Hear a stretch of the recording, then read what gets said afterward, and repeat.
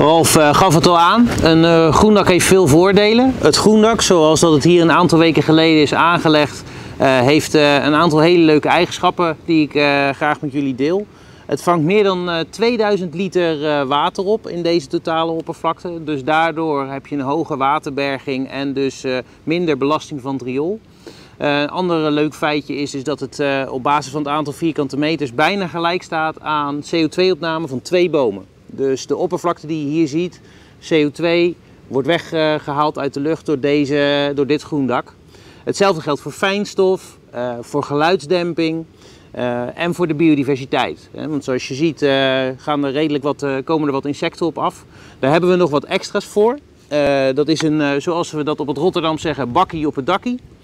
Een bakkie op het dakkie is gemaakt door de cliënten van Syndion. een groep mensen met een geestelijke of uh, lichamelijke beperking. Die maken dit van uh, uh, gerecycled hout en die worden later verwerkt in het groendak. Waardoor er nog meer insecten in kunnen komen of vlinders met de juiste beplanting erin.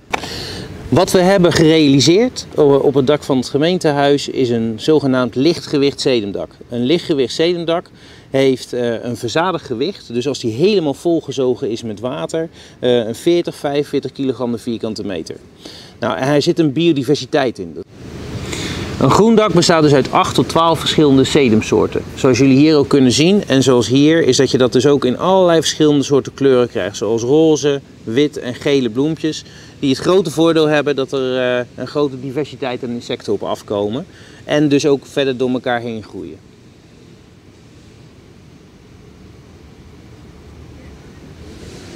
Gewoon een groendak heeft heel veel voordelen.